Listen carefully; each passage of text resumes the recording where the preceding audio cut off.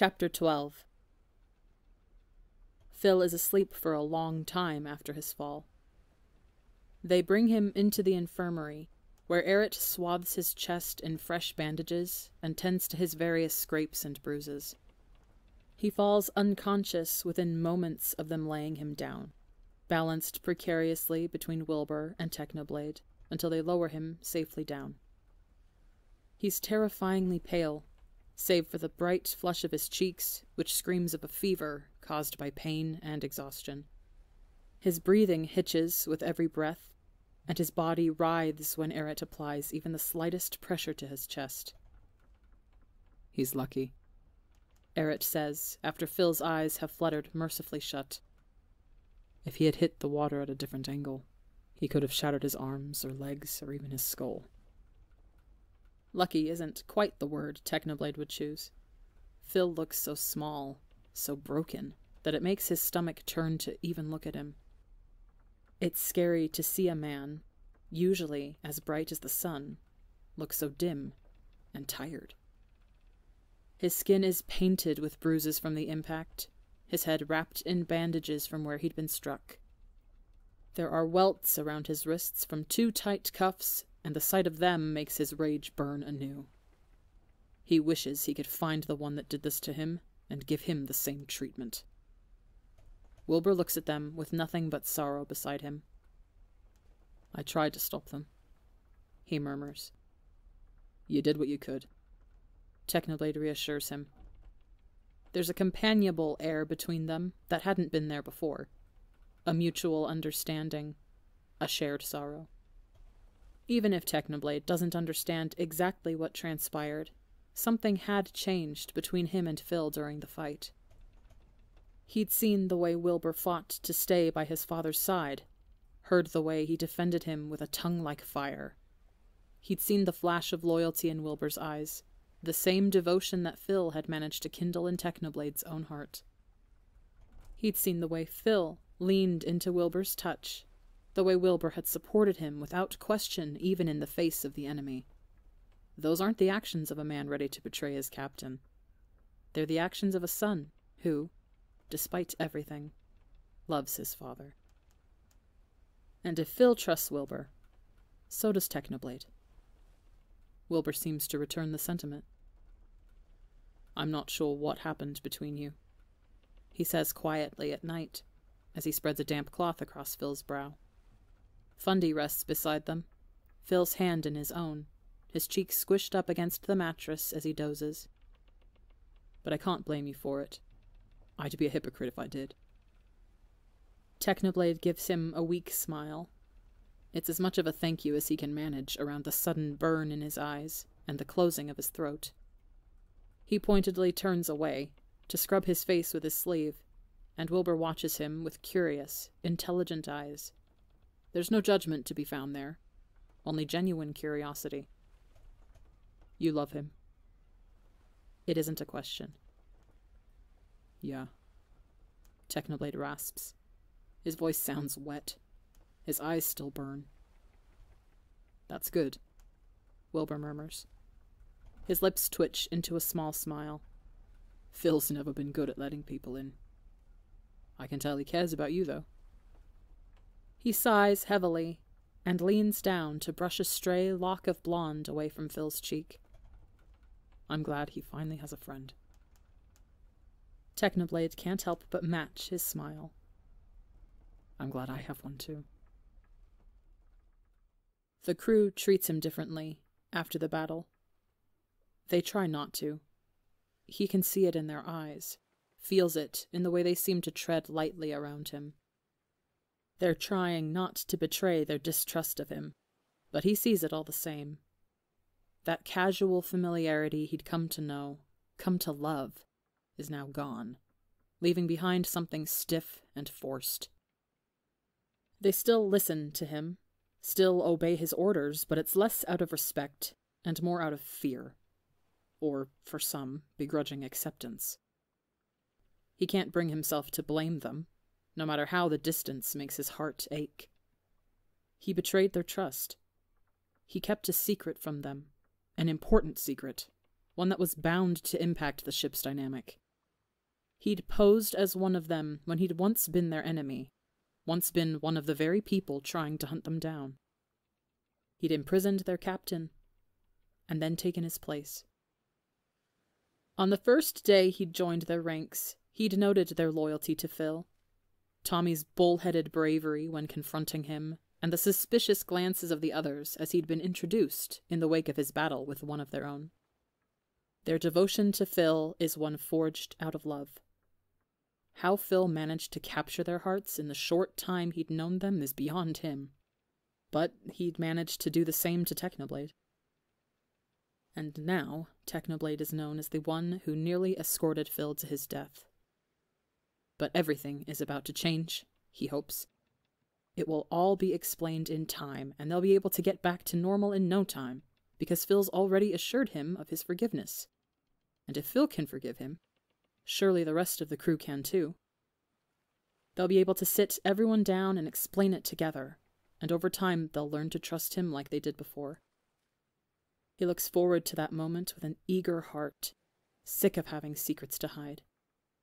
He's ready to lay it all on the table, to work past it and move on, for the sake of Phil and the crew as much as himself.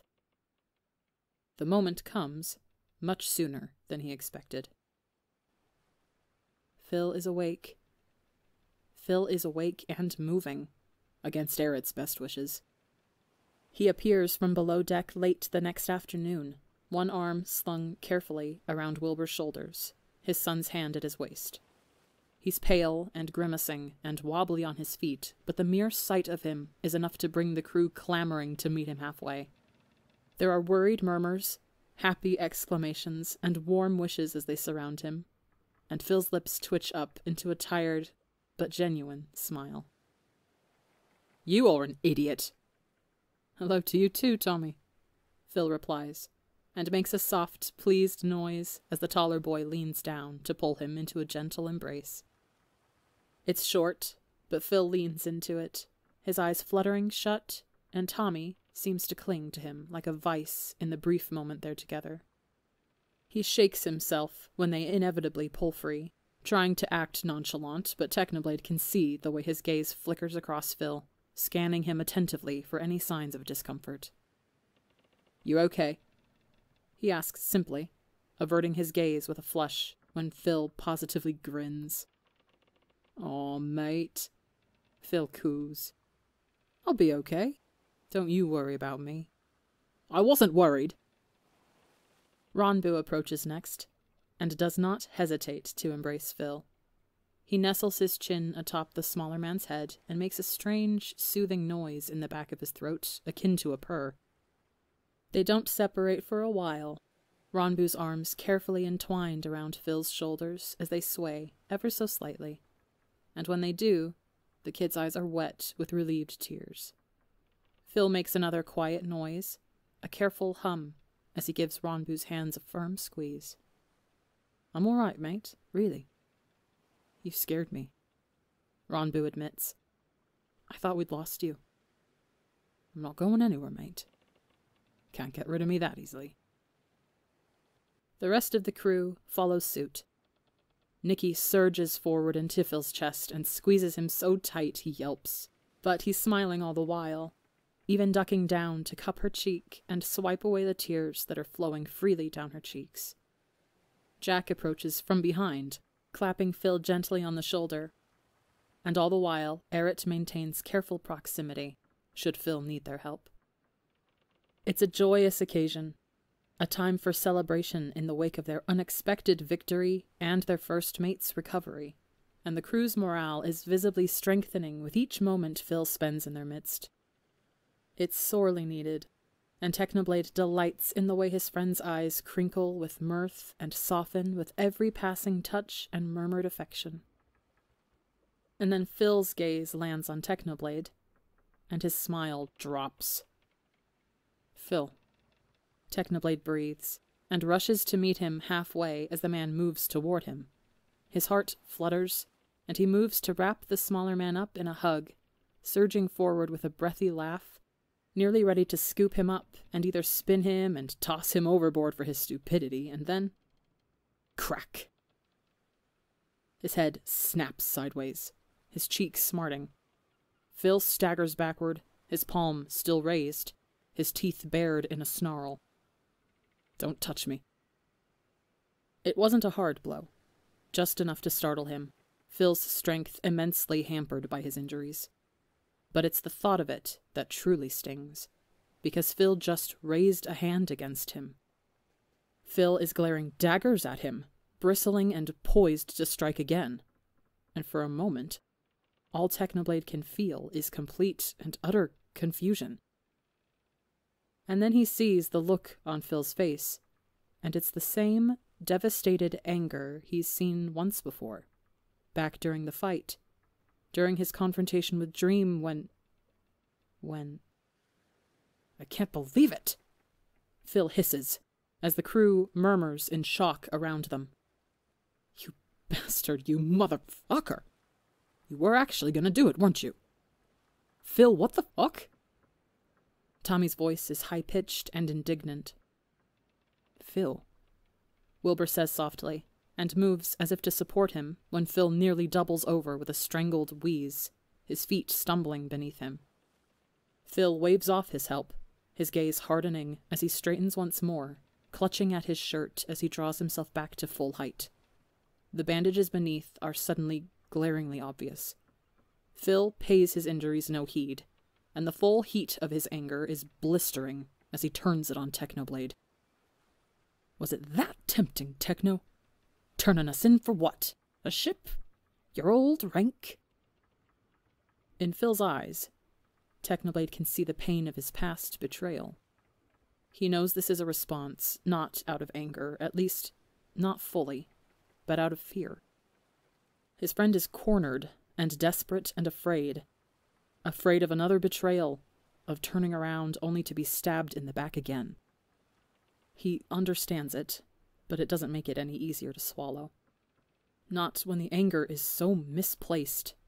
Not when he's backing Technoblade into a corner himself. Phil, that's not that's not what, Technoblade. I saw you. He did. Technoblade knows he did. He remembers Phil's stricken face vividly, the way his friend had frozen mid battle at the sight of Technoblade's hesitation. Even if only for a moment, he'd genuinely considered trading their lives away for his own selfish comfort, for a shot at his old life. His heart aches with guilt at even considering Dream's offer. But he knows guilt isn't enough right now not when his weakness could have cost him not only a victory, but also the lives of his crew, the lives of his friends. Phil, I know I messed up. I shouldn't have even considered it. I just. He runs a hand through his hair with a shaky sigh and feels the heat of Phil's gaze burning at his skin. Look, for a moment. For a moment, I was tempted. I'll admit that, but I couldn't, Phil. I can't. I won't. Not ever. You're my crew. My friends. And Phil scoffs, tossing his head back. You say that, Techno, but I saw the look in your eyes. You would have taken it. If we hadn't been there, if we hadn't been around to see it, if it had just been you and Dream with nobody to play witness, you would have turned on us in a heartbeat, wouldn't you? Phil's words are like claws in his heart. Cruel and unfair. Because he just proved he wouldn't, hadn't he? He'd fought Dream for them, for the sake of the crew, to keep them alive and safe. And yet here Phil is, spitting injustices at him, as if he was really going to turn them in. Technoblade's anger burns white hot in his veins, wild and dangerous, his own tongue loosening as the stress and pressure bottled up for so many weeks finally uncork. You know what? Maybe I do understand why your crew left you in the first place. Technoblade snaps right back, his tongue as sharp as the sword at his belt. Keeping secrets, accusing me of being a traitor. Maybe the mutiny was all just an excuse to get a better captain. He regrets the words as soon as they leave his mouth his tongue tasting as though it's been coated in bitter poison. He regrets it even more when he turns and catches Phil's gaze.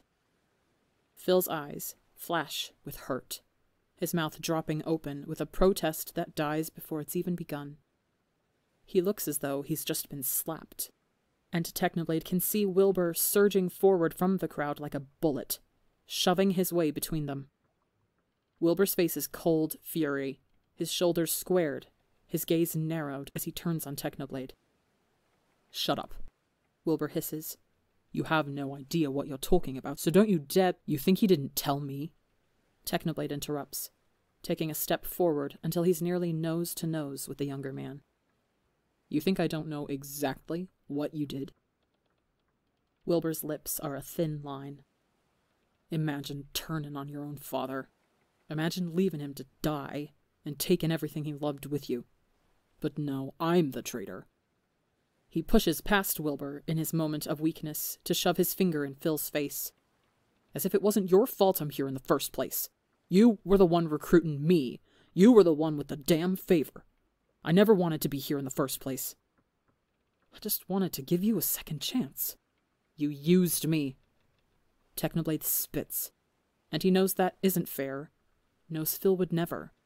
But he's experienced enough of it in his life to leave lasting scars and he's hurt and angry, and it just feels so good to let it all out. You just needed someone to cover for you, to take the fall because you were too scared to be captain yourself. Techno. What, Phil? Don't tell me it isn't true. I wasn't your first choice, just the one you happened to find. I wasn't meant for the job, I was just convenient. Phil doesn't respond. There's a war being waged behind his eyes and the silence drags on and on. Technoblade is the one to break the silence. You're just too much of a coward to admit it. I'm the coward. How long were you planning to keep everyone in the dark about what you did to me? About what you were gonna do? Oh, I keep secrets? Technoblade's fist clenches at his side. Phil should count himself damn lucky that he hasn't already taken a swing. Or rather, perhaps unlucky, because Technoblade retaliates with something much worse. And when, exactly, were you going to tell the crew about your little curse? Phil flinches, as if stung. As do the crew. Phil? Tommy is the first to speak, and the waver in his voice is almost enough to make Technoblade regret spilling the news like this. Almost. Phil, what does he mean? I. Phil's mouth opens and closes, his jaw working as he grapples for something to say. He shoots Technoblade a quick look, full of shock and betrayal and hurt, but Technoblade stands firm. I was gonna tell you guys, I promise. I just. I didn't. Phil's cursed. Technoblade snaps impatiently and Phil shoots him another look, this time almost scared. It's not like that. Fucking hell, mate! Hang on a second here! He exclaims, holding up his hands placatingly as several speculative glances turn his way. I'm not cursed. It's not like that. It's this locket and it. You're cursed, Jack says, stone faced. And you weren't going to tell us? I was! Phil cries, and oh, Technoblade's heart does tug a little at the flicker of panic he hears there. Fuck! I swear to you, I was going to tell you. I just. Is this why the Navy showed up? Ranboo asks softly. Twice? Tubbo chimes in, and his glare is as sharp as daggers.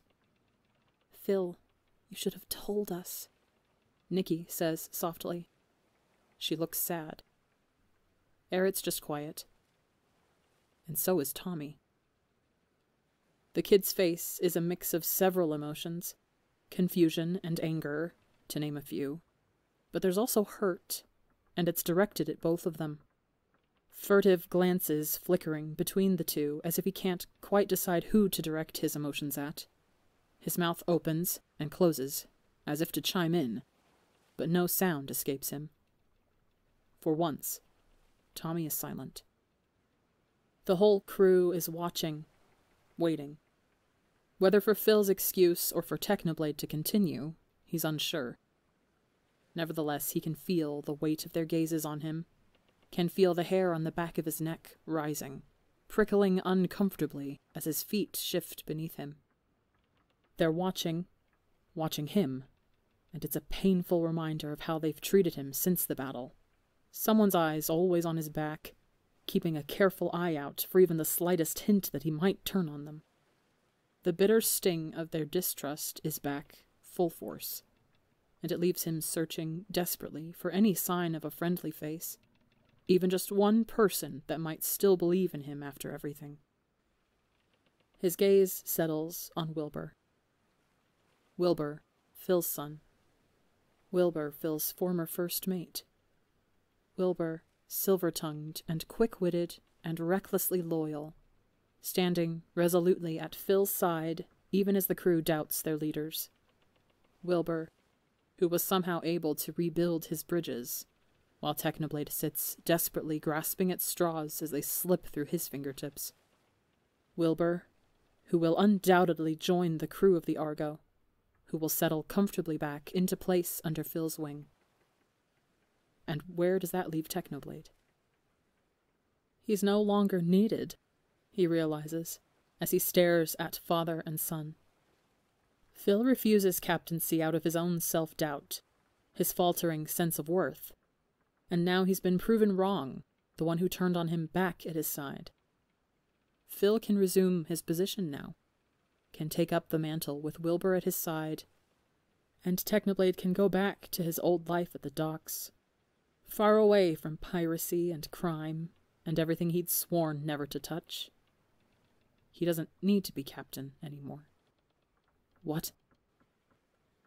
Phil's breathless question jerks him out of his thoughts, and it's only then that he realizes he's spoken aloud. His friend is staring at him with nothing but blatant shock and dawning horror, his lips half parted and his head tilted as though he doesn't understand. So Technoblade clarifies. It's true, isn't it? I can go now. I can leave. I've sure as hell fulfilled my end of the deal at this point. Besides, it's not like anyone would protest, least of all you. You promised me you wouldn't leave. Phil's voice wobbles, his exclamation sudden and unexpected, and some of the anger is blunted by the note of fear Technoblade catches. He searches his friend's face and sees wide eyed desperation and a lip caught between his teeth, one arm curled around his bandaged chest as he heaves for breath. You said you wouldn't be like the others. You told me you wouldn't leave me. You don't exactly need me anymore, do you? Technoblade snaps back, and relishes in the way Phil recoils. He gestures with one hand to Wilbur. You've got him now, don't you? What? Go ahead, take it all back. I know you want to. You can be captain again. You've got your first mate back, after all. You don't need me to fill in any more. If Technoblade looked a little closer, perhaps he'd see the way Phil's words are fueled by hurt and panic and desperation and the pain that still lingers with each breath. Instead, he's blinded by those very same emotions, which taint his heart and twist his tone into something bitter and vengeful and spur his words on into something cruel, something he doesn't mean. You don't need me, Phil, he says. And I don't need you. There's a soft intake of breath. Wilbur makes a furious sound, halfway between a gasp and a snarl. Technoblade doesn't spare him the time, not even so much as a glance. His focus is entirely on Phil. Phil, who looks at him with an eerily blank expression, his blue gaze unreadable beneath the storm on the surface, his fingertips twitching where they rest at his side and curl around his ribs. Phil, whose breath hitches with every other attempt, stuttering haphazardly over splintered bones yet to fully heal. Phil, who worries his lip between his teeth and does not respond instead merely gazing at Technoblade with that same damned look. Empty in a way that makes Technoblade's blood simultaneously boil and freeze because he wanted a reaction, but not like this. He backtracks, stumbling, because the light in Phil's eyes has died, and the anger is beginning to fade in its wake, and then. Maybe you're right. Oh. There are tears brimming in the corner of Phil's eyes, a glassy sheen distorting blue into gray. There's an angry flush to his cheeks, and his teeth are gritted halfway between a grimace and a smile. A smile that looks wrong. So uncharacteristic of him in the way that it twitches and wobbles and threatens to break at any moment. Maybe I was wrong, Phil rasps. Maybe you are just like the rest. And gods, does that sting. You're one to talk. Technoblade answers immediately, voice as cold as ice. I thought I could trust you. I thought I could count on you. I thought you believed in me. Don't you dare! Phil says, and he watches his friend's lashes flutter desperately, tiny droplets beginning to gather there. Don't say that. Not when not when I trusted you with everything, Techno. I showed you my heart, and you. you fucking. He gestures wildly, messy and angry and uncoordinated. You were willing to throw it away. After everything, you were willing to give it up for. for the fucking Navy. Not this again. Excuse me? Look, I understand you've had some bad encounters with them, but shut the fuck up, Techno. Don't you dare say another word. I can't believe this. I can't believe you. They took everything from you, even your hand, and you're still gonna try and defend them? I made a mistake, Phil. I was punished accordingly. For what? Surviving? For siding with a criminal. A beat. Right. Phil's voice sounds surprisingly flat. I forgot. That's all I am to you, isn't it? You were rightfully arrested for crimes of piracy they were going to kill me, Techno. Get your head out of your ass. You chose this, Phil. He reminds him. You're the one who chose this life. You're the one who decided to stay. You could have stopped. You could have renounced piracy after. He bites back what he wants to say, but the meaning is still clear. Phil's face crumpling in anguish and rage alike. But you didn't. You chose to stay a pirate, to be a criminal you knew the consequences, and those. those were the consequences. Don't you go there, Technoblade. Phil breathes, his voice suddenly painfully quiet. You know it wasn't like that. You know exactly what I went through, what I saw, what I lost. And his voice pitches into a breathy giggle, one that lacks any humor at all. You're a damn hypocrite, Technoblade. I chose to be a pirate. And what about you? A Navy officer turned criminal. You became the very thing you say you hate so much. You became one of us, Technoblade. You were the one who caused this in the first place. You and your damned curse. Without you, I'd still have my rank, my ship, my life. My crew would still be here. You took everything. What? I saved you. Well, sometimes I wish you'd just left me. At least then I wouldn't be here. At least I wouldn't be a pirate, a criminal. He spits the last word out like a curse, uncaring for the way it makes the crew shuffle around him, shock and confusion and concern giving way to indignance. You know what they taught me in the Navy, Phil? The words are flowing, spilling from his lips before he has the chance to think, to contemplate the consequences. His rational mind is forfeit, giving way to the righteous fury that burns like a fire in his veins, and every dangerous little thought he's had since the start begins to rear its ugly head. They taught me that the only thing a pirate is good for is the gallows, and I'm starting to think they might be right. You don't mean that. I'd rather be dead than what I am now, than what you made me become. Silence. And then Maybe you should have gone down with your ship then, mate. And Technoblade freezes. Phil does too, his eyes widening and his lips half parted, one hand extended as if he can snatch it back out of the air. But it's too late, because Technoblade doesn't see any of this. Doesn't see the regret and devastation across his friend's face.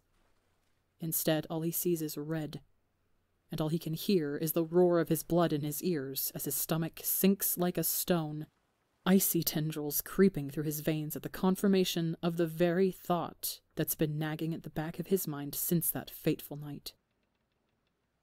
Maybe I should have. He agrees softly, and in an instant the fight drains out of him, leaving him shivering and hurt and bitter and tired. And so he retreats, making no attempt to excuse himself, nor to console his friend, who looks on the verge of tears himself. He leaves Phil alone, surrounded by his crew, and yet so very alone, and does not look back. The door to his cabin slams shut.